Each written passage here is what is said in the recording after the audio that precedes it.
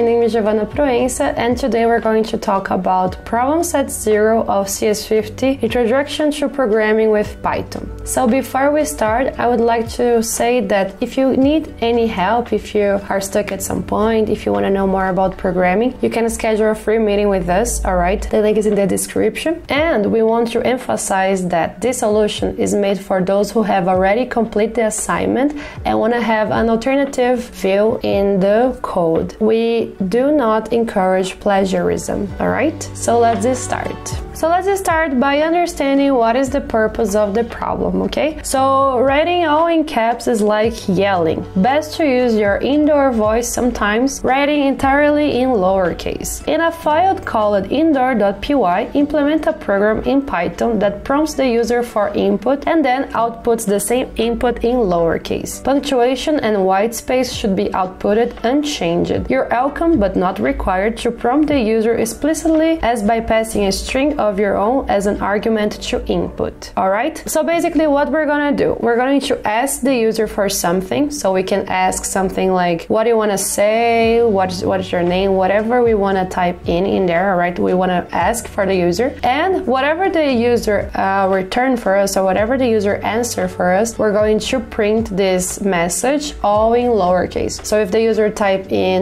hello all capital, we're gonna return hello all lower. Okay, this is the main goal of the problem. группу. So let's do these steps before we begin. Okay, so here I already opened up my Visual Studio Code in online. Okay, so let's do the first step. So here we're gonna execute mkdir indoor. So we're gonna create a directory uh, with the name of the problem. All right, indoor, and then we have to enter in this directory. If you take a look in here, we have this directory in here without any file yet. So to enter our terminal in here, we're gonna do cd indoor. All right? And we're going to do here this code indoor.py. So we're going to create a new file that will have this name indoor.py. So code indoor.py okay? And if you take a look here it opened up for us all right? This is it for now. So let's start understanding what we have to do. So basically we're going to ask the user for a message and we're going to convert this into lowercase. Let's see this demonstration here. We have here hello world all capital and our code will return hello world all lower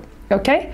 So let's understand first the input function Basically, the function input allows us to ask questions to the user and the answer that the user typed in we can store in a variable. For example, if we want to ask the name of the user, we can do username equals to input, what's your name? And it will be prompt in the terminal. The user can write his name. If the user types in Giovanna, the variable username will store Giovanna. Since the answer is stored in a variable, we can use this answer in our code. So now that we understood how the function input works, let's start adding here the first line of code, okay? So here we're going to ask message to user, okay?